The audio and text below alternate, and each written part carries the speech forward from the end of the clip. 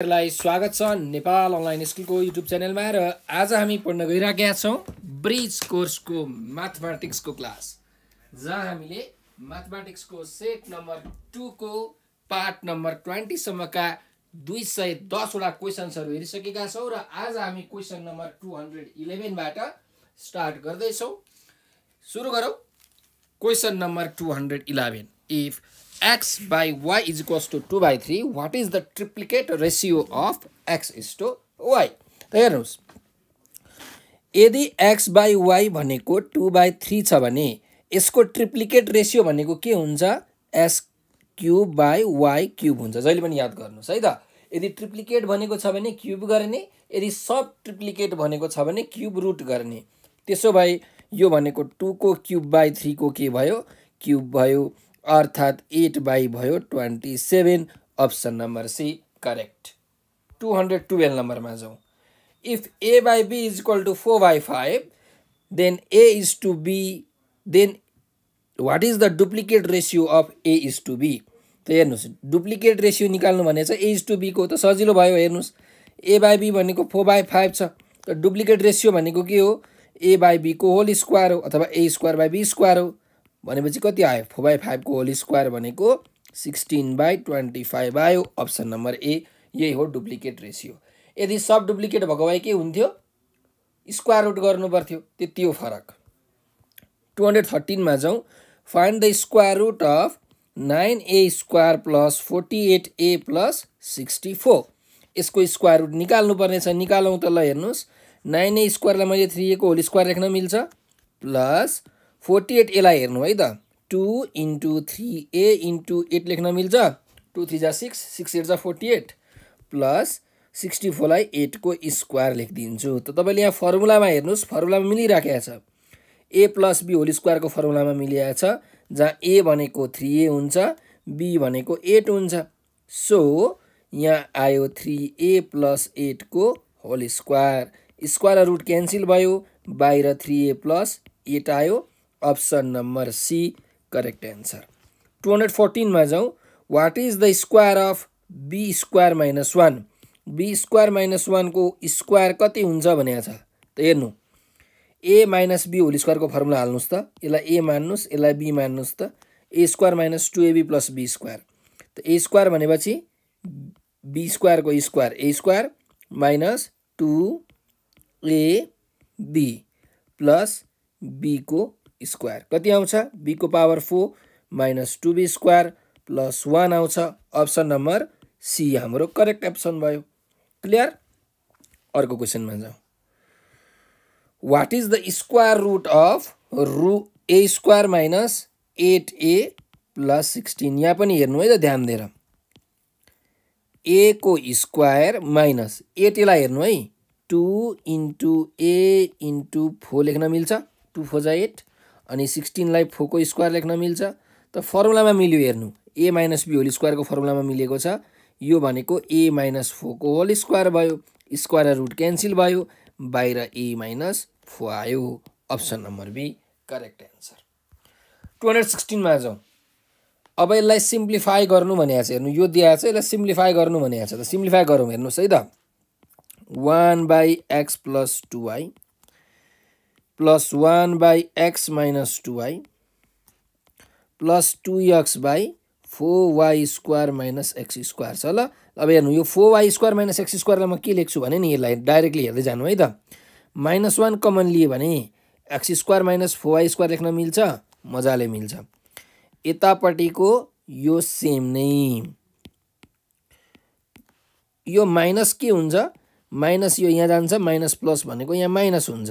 अनि two X by X square minus two वाईको whole square यतापट्टि जस्ताको तस्तै हेर्नुहोस् minus two X divided by अब यहाँ हेर्नुहोस् त। ए स्क्वायर माइनस बी स्क्वायरको फर्मुला हाल्नु त। एक्सलाई ए मान्नु टु वाईलाई बी मान्नु। ए स्क्वायर माइनस बी स्क्वायरको फर्मुलामा मिलिराखेको छ मिलिराखेको छ। त A plus B into A minus B ल बल्ल अब हामी के लिउँ त? एलसिएम लिउँ। एलसिएम लिँदाखेरि के गर्नुपर्छ? डिनोमिनेटरको कमन कमन टर्म्सहरू लेख्नुपर्छ सुरुमा। त हेर्नु X plus two Y X plus two वाईबाट एउटा एक्स प्लस टु वाई आयो। X minus two Y X minus two वाईबाट X minus two Y एउटा आयो। यही हो एलसिएम त्यसो भए अब हेरौँ है त के के बाँकी रहन्छ। त यहाँ वान छ।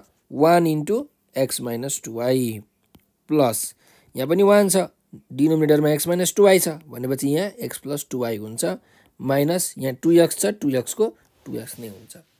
कति आयो हेर्दै जानु है त? Minus two I plus two I cancel भयो। हो यक्स प्लस यक्स भनेको two X minus two X divided by X plus two Y X minus two Y त two X minus two X भनेको कति हो? जिरो। जिरोलाई जेसुकैले डिभाइड गर्नु के आउँछ? जिरो।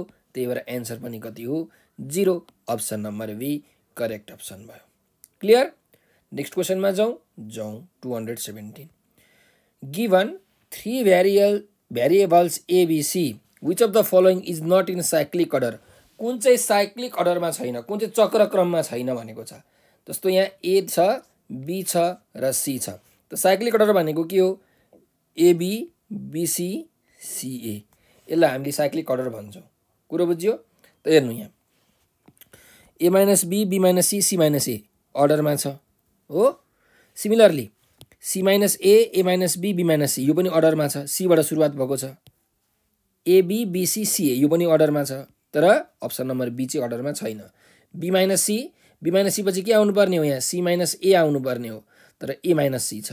सो यो चाहिँ अर्डरमा छैन। त्यही भएर अप्सन नम्बर बी तर स्टुडेन्टले के गर्छन् भने अप्सन नम्बर डीमा लगाउँछन्। किन?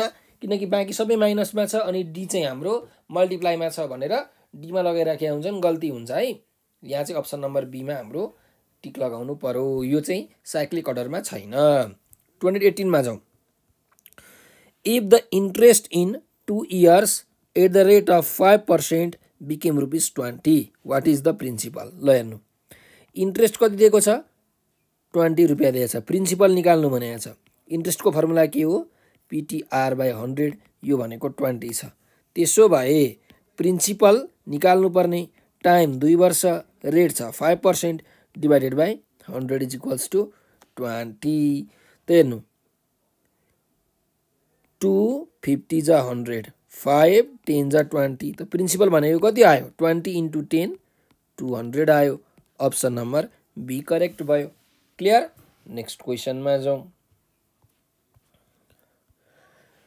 If the sum of money if the sum of money doubles itself in twenty years in what time will it triple भनेको छ? ल हेर्नु। दुईवटा केस छ। एउटा पैसा रहेछ सर्टेन प्रिन्सिपल रहेछ। त्यो प्रिन्सिपल चाहिँ के हुन्छ अरे? डबल हुन्छ अरे। भनेको एमाउन्ट के हुन्छ? डबल हुन्छ। कहिले? टाइम दिएको छ बिस वर्षमा डबल हुन्छ अरे। भने कति टाइममा चाहिँ त्यो एमाउन्ट ट्रिपल हुन्छ भनेर सोधिराखेको छ। त यो दुईवटा केस दिएको छ। बट यो दुइटै केसमा प्रिन्सिपल र रेट के हुन्छ? सेम हुन्छ किनकि प्रिन्सिपल रेटमा त कहीँ केही फरक छैन होइन? प्रिन्सिपल र रेट त फरक हुँदैन। एमाउन्ट र टाइम चाहिँ दुइटैमा फरक फरक हुन्छ। सो के गरौँ भन्दाखेरि यहाँबाट हामी सल्भ गरौँ हेर्नुहोस् है त। ए वान भनेको के हो? प्रिन्सिपल प्लस इन्ट्रेस्ट हो कि होइन त एमाउन्ट भनेको two P is equal to principal interest भनेको P T one R by hundred त यहाँ यो पी यतातिर आउँछ। टु पी माइनस पी भनेको कति हुन्छ? पी हुन्छ। Is equal to P T one भनेको ट्वेन्टी रेट थाहा छैन। Divided by hundred twenty five ज हन्ड्रेड पी र पी पनि क्यान्सिल भयो। रेट कति आयो? फाइभ पर्सेन्ट आयो। अब यो केसमा जाउँ। टाइम निकाल्नुपर्ने छ हो। त टाइम निकाल्नको लागि ए टू भनेको के हो हामीलाई? Principal plus interest A two भनेको three times principal is equal to P plus P into T two into R by hundred अब यो पी तार के हुन्छ?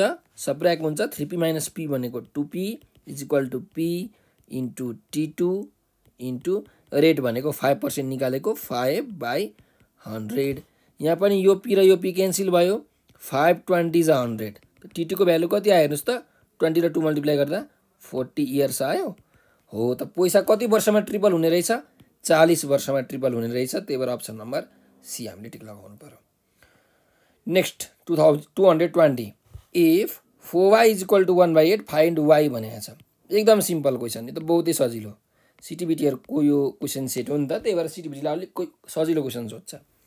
Four Y is equal to one by eight छ भने वाइको भ्यालु कति हुन्छ? वाइको भ्यालु भनेको one by four into eight भनेको वान बाई कति भयो? थर्टी टू भयो option number D correct answer clear ल त यो सँगै हामीले यो पार्टको पनि दसवटा क्वेसन्सहरू प्र्याक्टिस गऱ्यौँ। अब हजुरहरूलाई भिडियो कस्तो लाग्यो कमेन्टमा प्रतिक्रिया दिन नबिर्सनु होला र यस्तै यस्तै अरू अरू भिडियोहरू हेर्नको लागि हाम्रो युट्युब च्यानल सब्सक्राइब पनि गर्नुहोस् र ब्रिज कोर्सको क्लासहरू जोइन गर्न मन लागेको छ भने हाम्रो सम्पर्क number nine eight four nine five nine five eight nine फाइभमा अहिलेको अहिले तुरुन्तका तुरुन्त कल गर्न सक्नुहुन्छ अथवा तपाईँले यो नम्बरको वाट्सएप अर भाइबरमा चाहिँ म्यासेज पनि गर्न सक्नुहुन्छ। सर म ब्रिज कोर्सको क्लास दिन चाहन्छु। कति बजीबाट क्लास हुन्छ? फी कति हो? फी कसरी तिर्ने हो? रेकर्डेड भिडियो पाइन्छ कि पाइँदैन? नोट्सहरू पाइन्छ कि पाइँदैन? सबै कुराहरू तपाईँले डिटेल रूपमा सोध्नुहोला र क्लास जोइन गर्नुहोला।